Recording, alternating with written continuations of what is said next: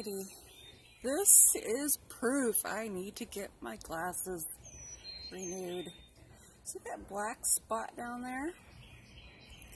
I just woke up, panicked, got dressed real quick, got my shoes on, came out here thinking it was a crow that was stuck in the fence. Thinking, oh, I have to rescue a crow. No, it's leaves. Wow. All it is is leaves stuck in the chain link fence. Ugh. I feel like a now. And I'm gonna go back to bed now. oh my gosh. Have a good day.